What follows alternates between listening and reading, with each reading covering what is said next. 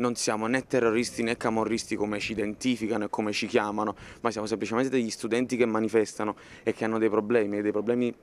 veri e che esistono da anni e manifestiamo anche contro le varie riforme che, stanno, che, si stanno per approvare qui in Italia. Contrari logicamente a quello che sta succedendo, ci impediscono di lavorare, ci impediscono di garantire un diritto allo studio a, alla maggior parte dei docenti che vogliono invece fare lezioni. Il problema è che non avanzano nessuna rivendicazione, cioè almeno nel nostro caso, cioè sono ridicole le rivendicazioni che fanno, non c'è neanche una forma di opposizione o di politicizzazione, assolutamente nulla. Una cosa è fare delle proposte, discutere, eh, portare alla luce problematiche per cui ci sono le strade giuste per poterlo fare, la scuola lo prevede. Altro è invece eh, fare cose che non sono legali,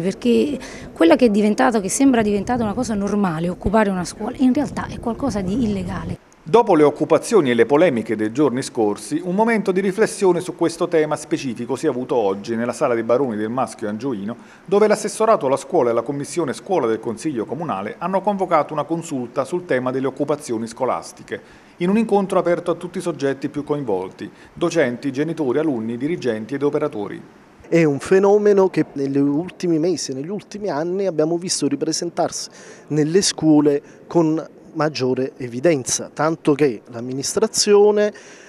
in più momenti ha chiesto a prefettura e a questura di monitorare qual è la condizione della sicurezza all'interno delle scuole. Per esempio noi abbiamo avuto scuole vandalizzate dove non ci stava nessuna occupazione in corso, per cui evitare di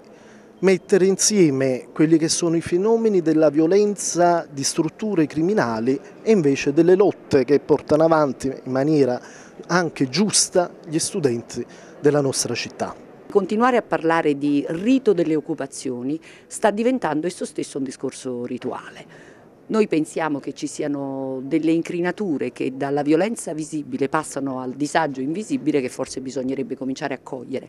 capire che cosa ci dicono gli studenti